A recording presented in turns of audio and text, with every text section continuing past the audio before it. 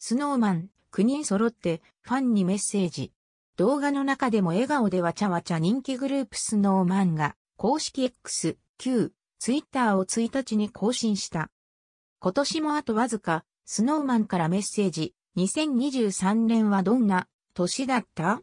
?9 人で賑やかに振り返りましたのコメントとともに、動画を公開。僕、最近不思議なものが入って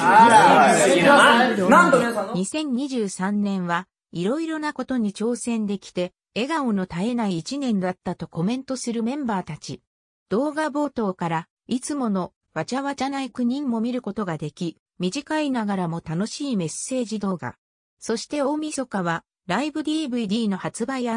スペシャルライブの生配信あと1ヶ月待ちきれませんね。と投稿にも綴られているが、動画の中でも言及。一年の最後までファンを楽しませてくれそうだ。